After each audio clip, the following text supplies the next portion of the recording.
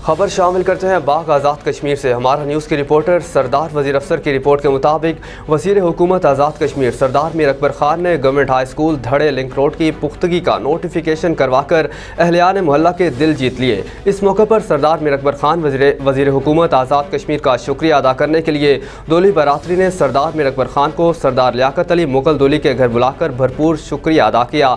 मजीद तफसीत से आगाह कर रहे हैं हमारा न्यूज़ के रिपोर्टर सरदार वज़ीर अफसर।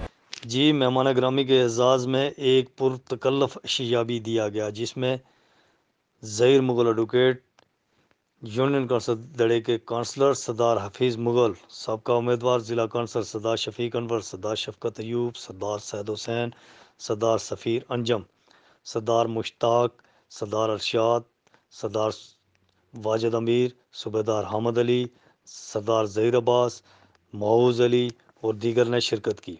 अहलिया ने मल्ला की तरफ़ से वज़ीर हुकूमत को भरपूर तावन का यकीन दिलाया और सदार मीर अकबर ख़ान को तमीर तरक्की का हीरो करार दिया।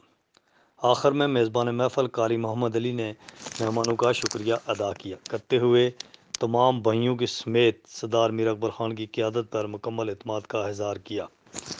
सरदार वज़ीर अफसर, हमारा न्यूज़, बाग आज़ाद, कश्मीर। जी, बहुत शुक्रिया सरदार, आप हमें तफसीत से आगाह कर रहे थे।